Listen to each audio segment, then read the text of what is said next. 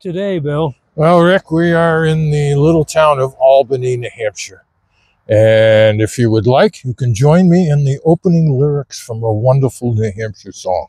Ready? Well, I don't know if our audience is, but let's go ahead. All right. There is an old fashioned house in New Hampshire with a light in the window for me. So goes the, the lyrics of A Light in the Window, which was written by Sam Lewis and Robert King in the 1930s. If you're familiar or you're a New Hampshire resident, you no doubt are familiar with WMUR's Chronicle and the wonderful segments by Fritz Wetherbee. Um, I could find no reference that this is the inspiration for the song, but if it isn't, it should be, because this is the story of Ruth Colbath and she is the woman who kept the light in the window. And the story is in the fall of 1891, Ruth's husband, a Thomas Alden Colbath, told her he was going out for a little while and that he would be back. Well, he did. He returned 42 years later. On the night that he left, Ruth placed a light in the window, and she would do to do so faithfully for 39 years until she died. Eventually, Thomas did reappear, reappear, and he came back 43 years later in 1933. And of course, she had already passed away. And when he was told of her death, he simply disappeared again. Yeah. Interesting character.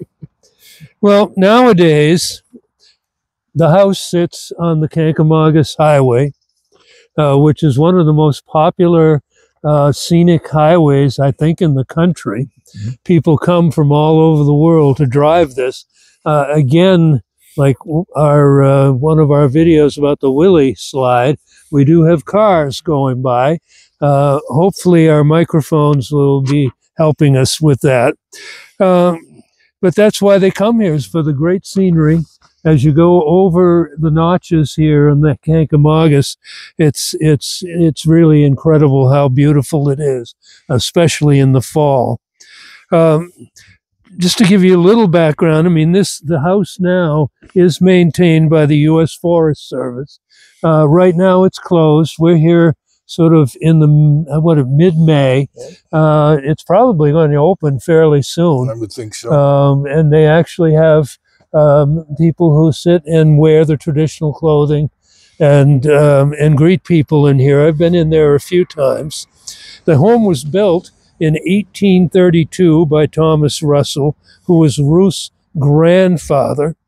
Then it was passed on to his son Eliza, who became one of the first industrial loggers in the White Mountains. We're actually going to a little bit at some point. We're going to also talk about another logger but we will wait for that one guy named Jigger Johnson.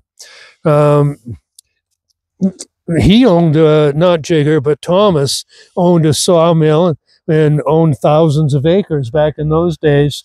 Um, a lot of these farms actually included a lot of land. Uh, but he was heavily in debt on his on his uh, on on the event of his death. He was survived by his wife, who transferred the property to his to their daughter Ruth and her husband Thomas, mm. who was the man who decided to uh, disappear. Uh, I've heard stories that he's he went all around the world, but who knows? Uh, I don't think anybody knows for sure. Uh, in any case, we are standing in front of the house she lived in. This is where her farm was. Uh, just over behind the camera right now is the cemetery where Ruth is buried. I think we should go look at it, so. don't you yep. think? Join us now. We're going to go over and take a look at Ruth's grave. Okay, let's go. Well, this is the grave of Ruth. And the house is now behind us. And this is an absolutely gorgeous little cemetery, little family cemetery, the Colbath Cemetery. It is maintained not by the Forest Service, it's uh, maintained by the town of Albany. So if you do stop by here, you certainly would uh, would want to take a few moments to come over and pay your respects to Ruth, but walk around the cemetery. And we're going to do that. We will show you around a little bit. Right. Well, Ruth, you had an interesting life.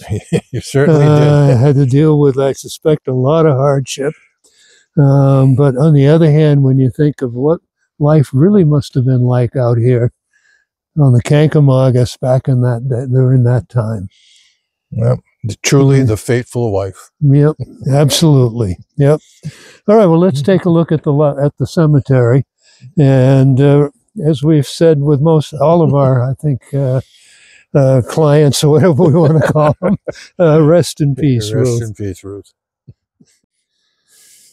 This is part of the original, I think, cemetery here, the Passaconaway Cemetery, back when this area was called Passaconaway. Um, it it is now the town of um, Albany. If you can see the house in the background. Uh, so, uh, like many people in those days, the the, um, the cemetery wasn't too far from where they where they lived and there are people who still are buried uh, next to their homes, but not as many as there used to be. Uh, let's also just do in a minute a pan from a slightly different angle, but um, both of us are were uh, intrigued by the uh, the the the entrance way over here on the left.